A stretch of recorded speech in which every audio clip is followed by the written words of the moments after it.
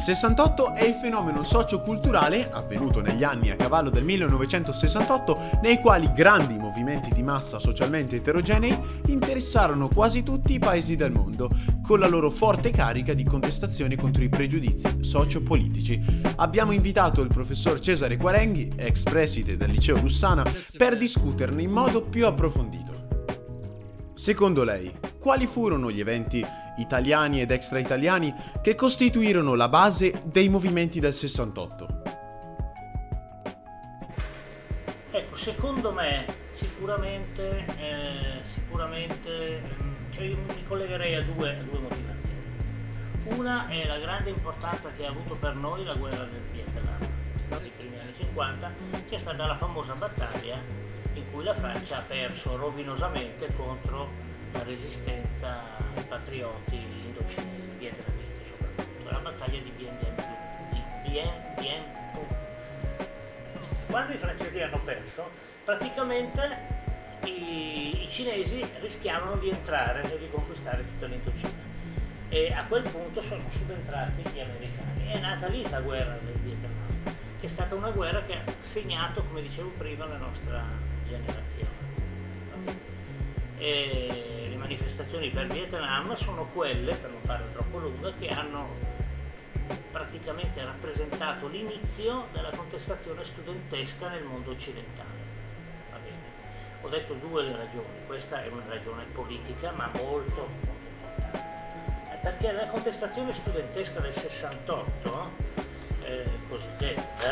verità è partita prima, è partita a Barclay nel 64 eh, e i, le motivazioni erano due, i diritti civili, i diritti civili, tenete presente che nel sud c'era ancora la segregazione razziale negli Stati Uniti. Insomma, in quel periodo si sbloccò una situazione che nel sud era completamente bloccata la contestazione del Sud, che vide molti studenti bianchi andare al Sud a sostenere questi diritti civili dei neri, in Italia, in Italia nel 68 no, eh, c'era un giornalino studentesco, quello si chiamava La Zanzara, no, e vide la luce al liceo Parini di Milano e parlava di cose che per quel tempo, no, in cui la cultura era abbastanza bloccata, diedero sufficientemente scandalo. Dopodiché nel 67, e qui entro in scena anch'io nel mio piccolo, perché eh, inizia il 68 italiano,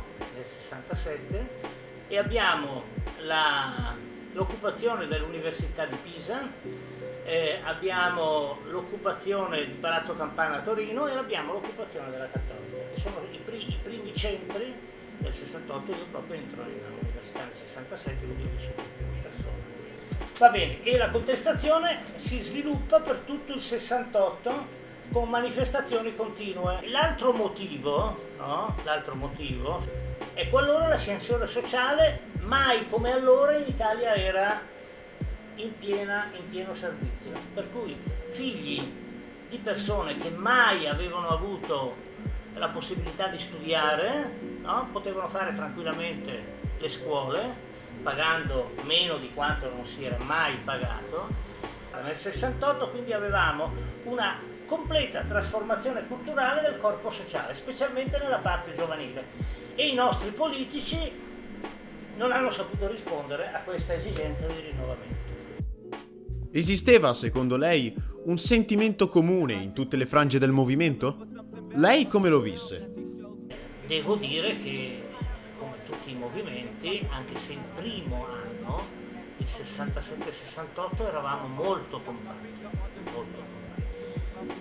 Ma come tutti i movimenti poi si sfrangiano. E quindi già il 69 è stato un anno della diaspora. Essendo uno studente, ecco, io personalmente, personalmente in quella sorta di stato nascenti, no? sì, non si percepivano le differenze, ci sentivamo veramente tutti compatti, diciamo pure contro gli adulti, ma contro un tipo di scuola che sentivamo come superato, non aveva le nostre sensibilità. E quindi sicuramente ecco, siamo stati vissuti come una, una bomba che rompeva tradizionali Una volta passato, per così dire, l'occhio del ciclone delle contestazioni, come mutò, in quanto ad ideologia politica, il movimento studentesco?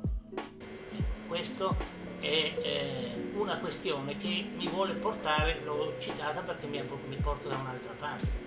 Come abbiamo fatto appunto a eh, dire, diventare quasi la quinta colonna di un mondo, quello comunista, che stava andando in disfacimento, che si sarebbe come dire, consumato morendo su se stesso più che altro, perché il, l'89, no? l'anno della caduta del muro di Berlino, eccetera, è un mondo, cioè hai l'immagine di un mondo che muore per, per, per una sorta di tumore interno, capito? Come abbiamo fatto noi, che eravamo, noi intendo dire sono generico, perché il noi non esiste, cioè esiste un sacco di anni, eh? però in qualche modo, in qualche, perché molti che hanno fatto il movimento studentesco sono entrati nel Partito Comunista Italiano. Io ho partecipato a manifestazioni, per la verità poco, le ho viste, non è che io ho partecipato, in cui si, inneggia, si inneggiava, non molto partecipate, ma c'erano, non venivano, viva il compagno Giuseppe Stalin.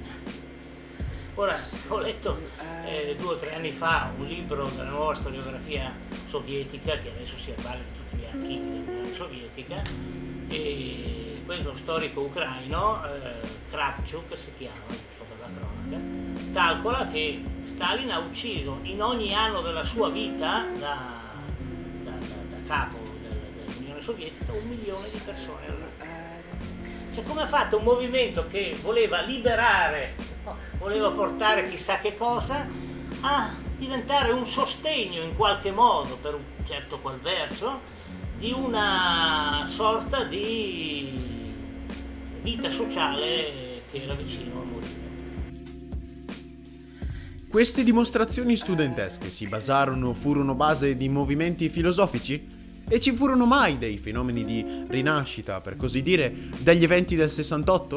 Perché questa domanda mi rimanda ovviamente al pensiero di Marcuse, al pensiero di una società che va sempre più rendendosi liberale, per cui, eh, per cui c'è bisogno di liberarla, ma non utilizzando la classe operaia, ma utilizzando, eh, nel saggio della liberazione sulla liberazione di Marcuse e devo dire che a distanza di tempo si ci ha influenzato molto più di quanto non crediamo.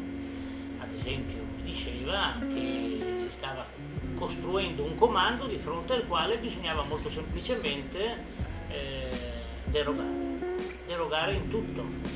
Eh, I filoni, ad esempio non vi ho neanche citato, del, non vi ho parlato del Macondo. Il Macondo è la città eh, di cui parlano Cento anni di solitudine, in cui gli uomini no, trovano una nuova vita. Allora, il Bacondo è il riflusso che nel 77 eh, ha il, il movimento del 68 e nel Macondo cosa succedeva? Non si poneva più al centro la politica, cioè tutto è politica, assolutamente. Si voleva liberare, si voleva eh, mettere al centro il libero amore, eh, si comincia a parlare allora di gay, no? di, di, liberazione delle, delle, delle, catene culturali, eccetera. Entra di moda riferirsi a un certo Freud, a Wilhelm Reich, che parlavano di liberazione sessuale sostanzialmente. Nel 77 il movimento diventa molto più sensibile nei confronti di, questi, di queste problematiche sociali, personali, di liberazione sessuale, eccetera. E quindi entriamo in un'epoca assolutamente, assolutamente diversa.